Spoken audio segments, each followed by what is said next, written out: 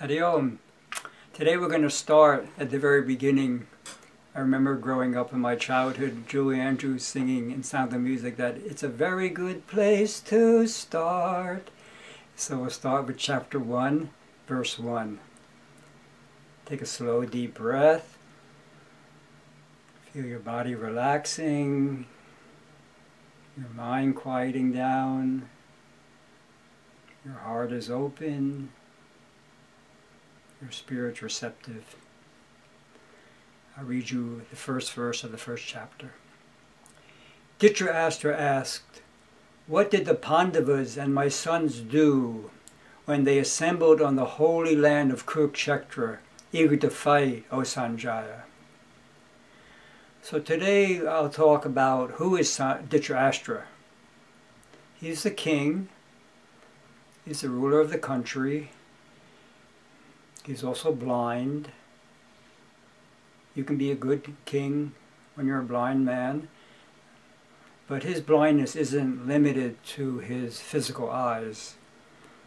His eye, his individual consciousness, also can't see, or at least can't see straight. And in this country, this individual consciousness, we also have a, a blind ruler, unfortunately.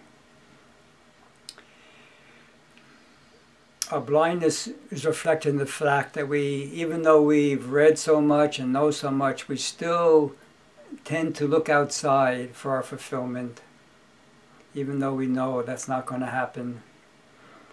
Our tamas also blinds us by covering over the inner light, and our rajas, our restlessness, pushes us outward, makes us focus outside of ourselves. And uh, we also are blind to how our conditioning is functioning. Our samskaras are mostly operating under the surface, they cause us to see things in a filtered and distorted way. And then we react to what we see in a pre-programmed and deep with deeply ingrained patterns. And this seeing is actually worse than blindness. A blind person at least knows they can't see. But we think that we're seeing reality when it's just not so. So I gave myself a homework assignment for the week I'll read it to you. This week I'm going to focus on uh, the, the fact that my point of view may not truly be objective. I'm going to listen more deeply to different points of view and to watch my reactions when people see things differently, differently than I do.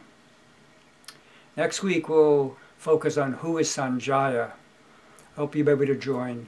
Thank you for watching. Om Shanti, Shanti, Shanti.